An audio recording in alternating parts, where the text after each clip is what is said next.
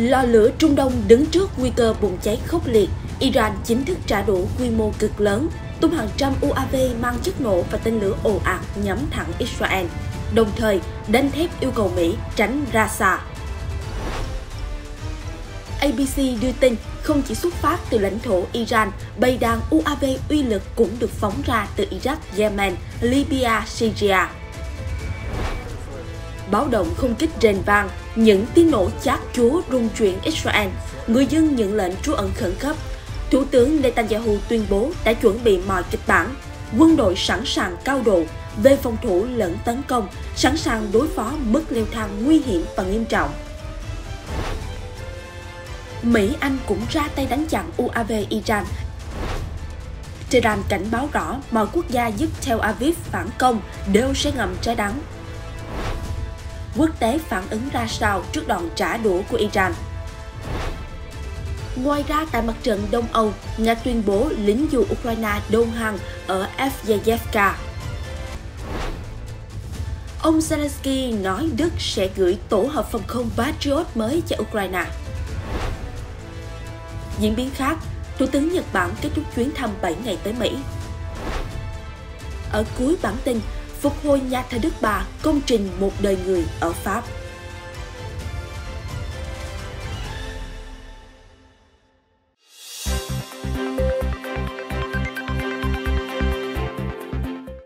Xin kính chào quý vị, mời quý vị cùng theo dõi chương trình thời sự quốc tế. Những diễn biến liên quan đến xung đột sụp sôi ở giải Gaza cùng những tin tức đáng chú ý khác sẽ được chúng tôi gửi tới quý vị ngay sau đây.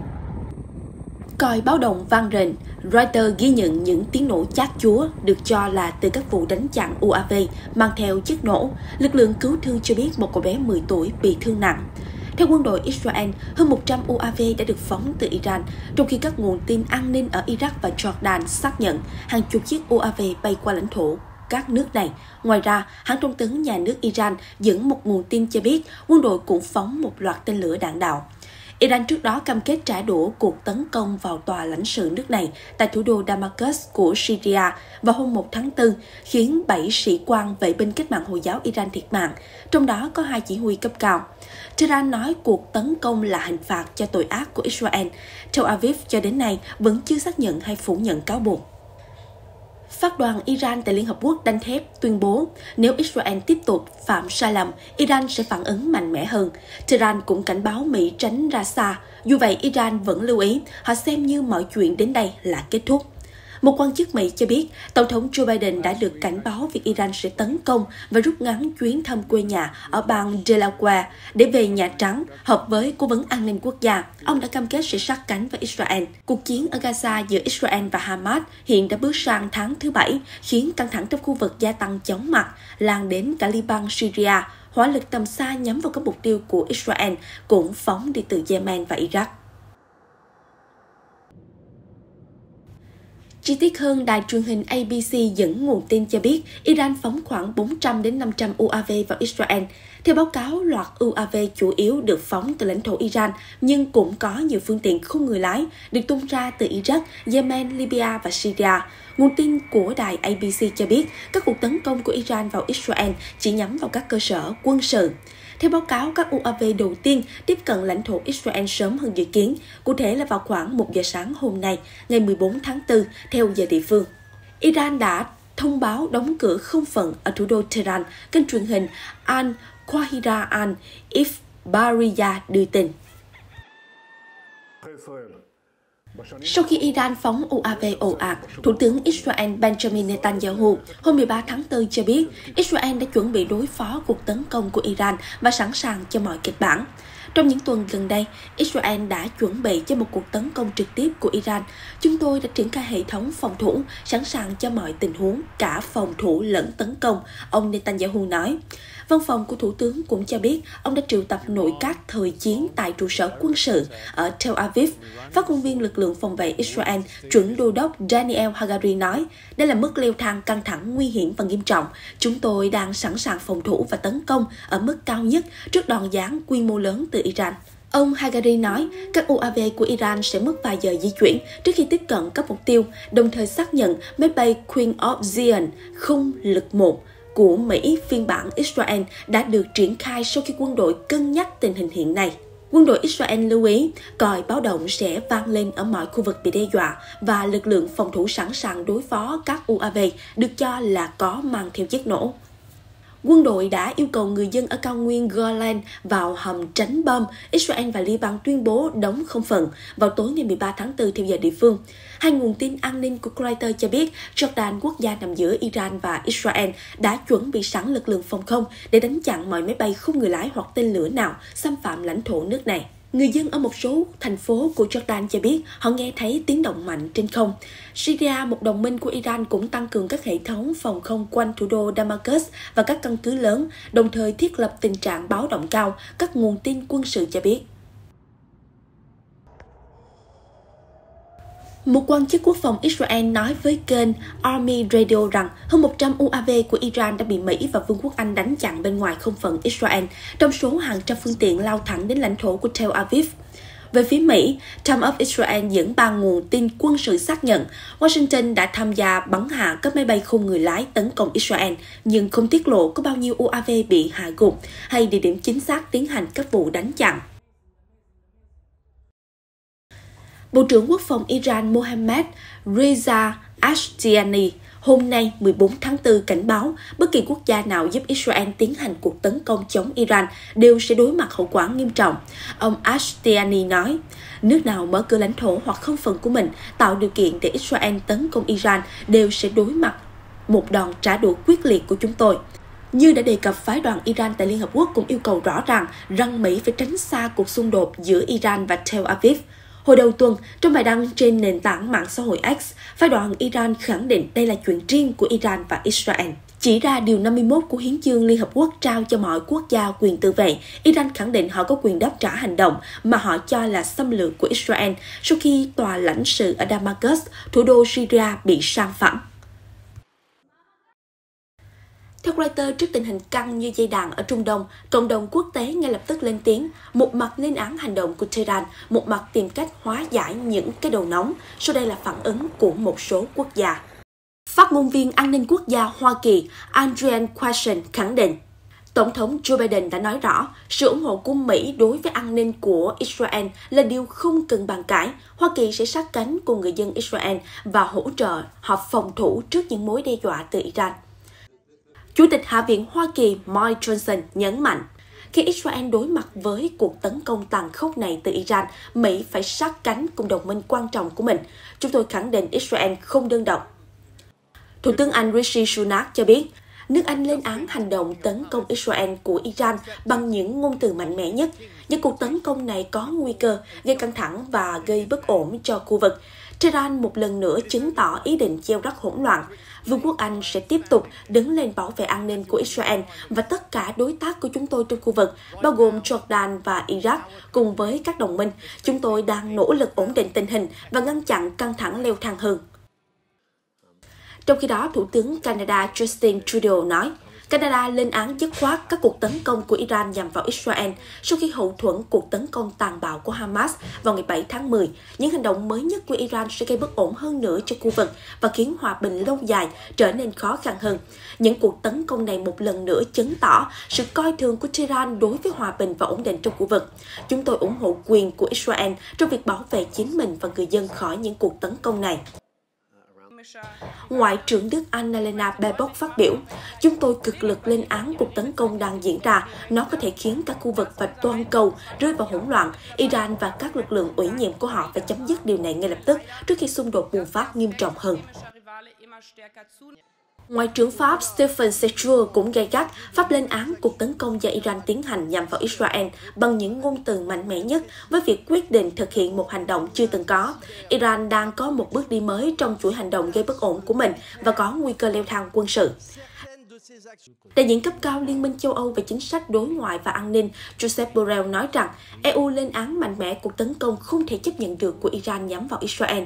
Đây là sự leo thang chưa từng có và là mối đe dọa nghiêm trọng đối với an ninh khu vực. Chủ tịch Hội đồng châu Âu Jacques Michel nhắc lại, EU lên án mạnh mẽ cuộc tấn công do Iran phát động vào Israel. Mọi thứ phải được thực hiện để ngăn chặn sự leo thang hơn nữa trong khu vực. Chúng tôi sẽ tiếp tục theo dõi chặt chẽ tình hình với các đối tác của mình. Thủ tướng Tây Ban Nha Pedro Sanchez phát biểu, chúng tôi đang theo dõi các sự kiện ở Trung Đông với mối quan ngại sâu sắc hơn. Chúng tôi đang liên lạc thường xuyên với các đại sứ quán của chúng tôi trong khu vực nhằm hỗ trợ công dân Tây Ban Nha khi cần thiết. Thủ tướng Hà Lan Mark Rutte nói, tình hình rất đáng lo ngại ở Trung Đông. Đầu ngày hôm nay, Hà Lan và các nước khác đã gửi đi một thông điệp rõ ràng tới Iran để chấm dứt mọi hành động leo thang của Tehran. Hà Lan lên án mạnh mẽ các cuộc tấn công của Iran vào Israel. Chúng tôi sẽ tiếp tục theo dõi tình hình một cách chặt chẽ. Ngoại trưởng Đan Mạch Lars Lok Rasmussen cũng lên án mạnh mẽ cuộc tấn công của Iran vào Israel, đồng thời kêu gọi các bên kiềm chế và giảm căng thẳng. Hành động gây bất ổn của Iran ở Trung Đông là không thể chấp nhận được và cuộc tấn công này cũng vậy. Trong khi Ngoại trưởng Na Uy Esben Barad đồng quan điểm, tôi lên án cuộc tấn công bất hợp pháp và nguy hiểm của Iran nhắm vào Israel. Điều này sẽ làm xấu thêm tình hình vốn đã cực kỳ bất ổn. Chúng ta phải ngăn chặn bạo lực leo thang hơn nữa ở Trung Đông. Tôi kêu gọi tất cả các bên kiềm chế tối đa. Bộ Ngoại giao Cộng hòa Séc nói, Séc lên án mạnh mẽ hành vi gây bất ổn của Iran và các lực lượng ủy nhiệm của họ. Chúng tôi nhắc lại quyền tự vệ của Israel, hành vi gây hấn lâu dài của Iran đang ngăn cản khu vực Trung Đông sống trong hòa bình và an ninh. Tổng thống Paraguay Santiago Pena nhấn mạnh, trong thời điểm khó khăn như vậy, chúng tôi bày tỏ sự ủng hộ tuyệt đối với người dân Israel và lo ngại về sự gia tăng bạo lực trong khu vực. Chúng tôi vẫn duy trì liên lạc với các đại sứ quán trong khu vực để phục vụ đồng bào của mình. Ngoại trưởng Chile Alberto Van Claveren, chúng tôi bày tỏ quan ngại về tình trạng căng thẳng leo thang nghiêm trọng ở Trung Đông và các cuộc tấn công của Iran nhằm vào Israel. Chile lên án việc sử dụng vũ lực và bảo vệ luật nhân đạo quốc tế nhằm bảo vệ mạng sống dân thường trong các cuộc xung đột vũ trang. Bộ Ngoại giao Mexico Chính phủ Mexico bày tỏ quan ngại sâu sắc về cuộc tấn công của Iran nhằm vào lãnh thổ Israel và tác động mà điều này có thể gây ra đối với hàng ngàn sinh mạng. Mexico lên án việc sử dụng vũ lực trong quan hệ quốc tế và kêu gọi các bên tự kiềm chế và tìm kiếm giải pháp. Mexico mong muốn một giải pháp hòa bình để tránh một cuộc xung đột chung hơn ở Trung Đông, cũng nhấn mạnh tầm quan trọng của việc tôn trọng luật pháp quốc tế vì hòa bình và an ninh quốc tế.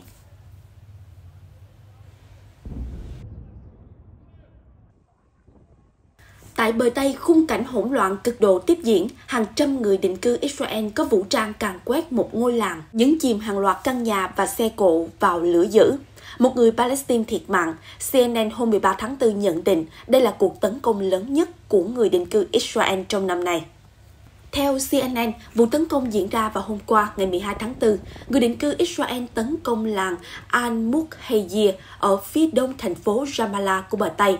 Amir Abu Alia, người đứng đầu hội đồng làng kể lại. Những kẻ tấn công đột kích các ngôi nhà và khai hỏa vào cư dân. Video do CNN tiếp cận được cho thấy nhiều nơi trong ngôi làng bốc cháy, khói từ nhiều tòa nhà bốc lên dữ dội và người định cư Israel không ngừng ném đá.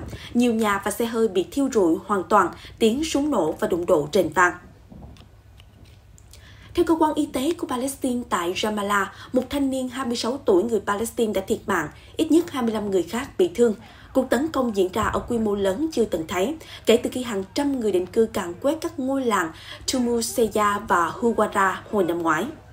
Ông Abu Alia nói với CNN khoảng 1.000 đến 1.200 người định cư bảo vệ ngôi làng và khoảng 500 người trong số đó xông vào khu dân cư, phong tỏa mọi con đường trong khu vực. Ông cho biết lực lượng an ninh Israel đã thông báo với giới chức Palestine rằng những người định cư đang tìm một cậu bé Israel 14 tuổi bị mất tích vào một ngày trước đó. Theo ông Abu Aliyah, quân đội Israel đã đến hiện trường và không có động thái nào ngăn cuộc tấn công của những người định cư. Ông cũng cáo buộc lính Israel cho phép họ đột kích vào ngôi nhà và ngăn cư dân Palestine di chuyển, thậm chí ngăn chặn xe cứu thương tiếp cận người bị thương. Ông cũng nói với CNN, người định cư Israel đã trộm khoảng 70 con cừu trong làng. Lực lượng phòng vệ Israel IDF nói rằng các hành động kích động bạo loạn bùng nổ ở hàng loạt khu vực các cuộc tìm kiếm cô bé mất tích.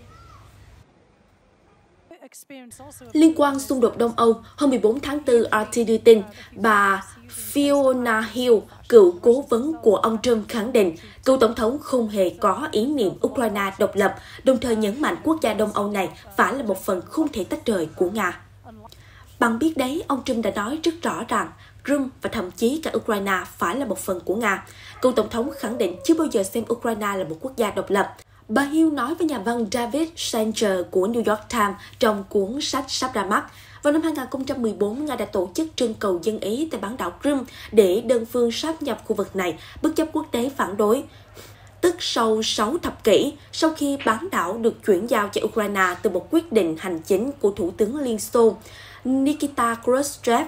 Vào tháng 9 năm 2022, bốn tỉnh của Ukraine gồm Donetsk, Lugansk, Kherson và Zaporozhye cũng được sáp nhập vào Liên bang Nga. Sau các cuộc trưng cầu dân Ý tương tự, chính quyền Kiev cùng hàng loạt quốc gia trên thế giới không công nhận quyết định này và khẳng định bốn vùng nói trên là lãnh thổ không thể tách rời của Ukraine. Trước thêm cuộc bầu cử tổng thống vào tháng 11 sắp tới, ông Trump được đánh giá là ứng cử viên sáng giá của Đảng Cộng Hòa trong cuộc chạy đua vào Nhà Trắng. Trong các cuộc vận động, cử tri của mình, cựu tổng thống khẳng định ông sẽ chấm dứt cuộc chiến ở Đông Âu trong vòng 24 giờ. Tôi sẽ mời Tổng thống Nga Vladimir Putin và Tổng thống Ukraine Volodymyr Zelensky ngồi vào bàn đàm phán. Chúng tôi sẽ đạt được một thỏa thuận chấm dứt cuộc chiến, ông Trump nói với NBC News vào tháng 9 năm ngoái.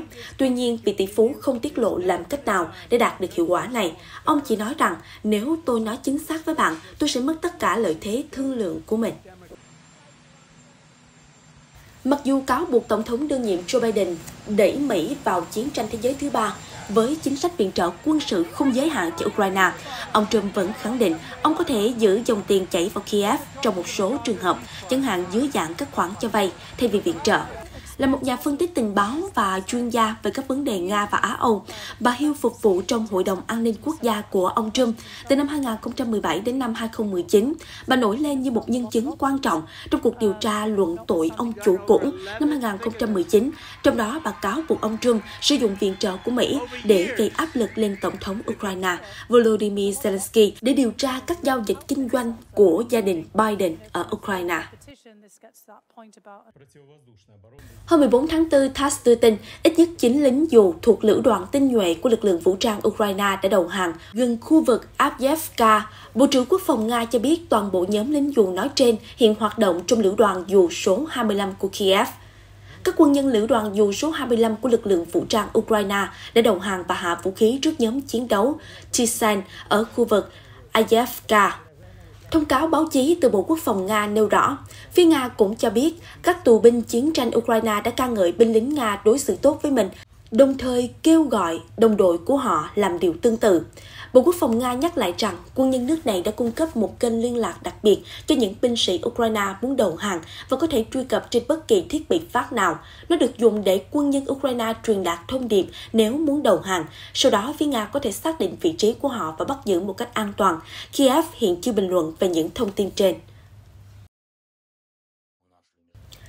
Theo Reuters, hôm 14 tháng 4, Tổng thống Ukraine Volodymyr Zelensky cho biết Đức sẽ cung cấp hệ thống phòng không Patriot và đạn tên lửa phòng không do Mỹ sản xuất cho Ukraine trong bối cảnh Kiev đang nỗ lực bảo vệ hệ thống năng lượng của mình khỏi liên hoàn đòn giáng từ Nga. Trong những tuần gần đây, Nga đã tiến hành ít nhất 3 cuộc không kích lớn vào các nhà máy điện và trạm biến áp, khiến hạ tầng năng lượng của Ukraine bị phá hủy nghiêm trọng. Trước tình thế nguy hiểm, chính phủ Kiev đã nhiều lần kêu gọi trong tuyệt vọng để các đồng minh phương Tây cung cấp tổ hợp phòng không cao cấp. Đáp lại lời kêu gọi, Thủ tướng Đức Olaf Scholz cho biết trên nền tảng mạng xã hội X, Đức sẽ cung cấp thêm một hệ thống phòng không Patriot cho Ukraine, như một lời nhắc nhở rằng Đức hiện là nước ủng hộ chính của Kiev trong bối cảnh gói viện trợ của Mỹ đang mắc kẹt ở Quốc hội. Trong bài phát biểu qua video hàng đêm của mình, ông Zelensky cho biết các cuộc đàm phán về việc Đức chuyển giao một hệ thống phòng không khác cho Ukraine đang diễn ra. Tuy nhiên, các quan chức Đức cho biết họ chưa nắm được thông tin này và cần thêm thời gian thảo luận.